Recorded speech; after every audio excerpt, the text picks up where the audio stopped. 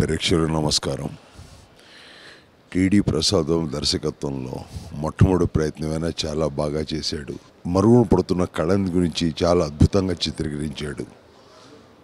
దృశ్యీకరణ సురేందర్ రెడ్డి బాగుంది. పర్యవేక్షణ రెడ్డి గారిది బాగుంది. శ్రీనివాస్ రెడ్డి గారిది.